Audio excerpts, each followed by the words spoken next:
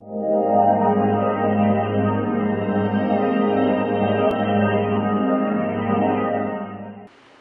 chào quý vị và các bạn. Hôm nay tôi xin chia sẻ đến quý vị và các bạn về cách phòng ngừa rủi ro bình cứu hóa. Trước tiên, chúng ta kiểm tra chốt hàng của các bình, đảm bảo chốt hàng của các bình luôn luôn đầy đủ. Vì chốt hàng chỉ được bỏ ra trong những trường hợp chúng ta muốn dập tắt đám cháy.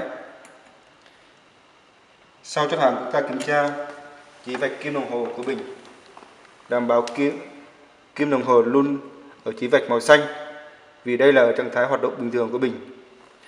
Nếu kim đồng hồ chỉ vạch ở màu đỏ, tức là nhiên liệu ở trong bình đã hết, chúng ta cần báo cho kỹ thuật để bơm thêm nhiên liệu vào bình.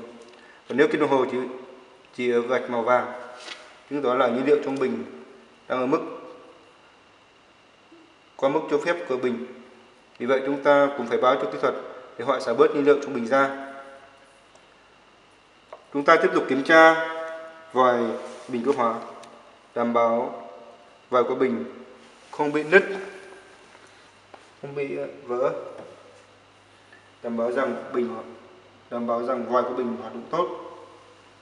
Và tiếp theo, chúng ta sẽ kiểm tra vệ sinh của bình. Chúng ta dùng khăn lau xung quanh tay sách, quả bóp, nhãn mắt vầy đảm bảo các phần này sạch sẽ không bị bụi bẩn. Chúng ta tiếp tục lau các phần thân bình đáy bình ra đỡ.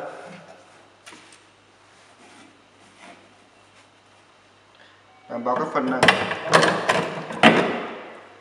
không bị bụi bẩn, luôn sạch sẽ trên đây tôi vừa chia sẻ đến quý vị và các bạn về cách phòng ngừa rủi ro bình cứu hóa. Xin chân thành cảm ơn quý vị và các bạn đã quan tâm theo dõi.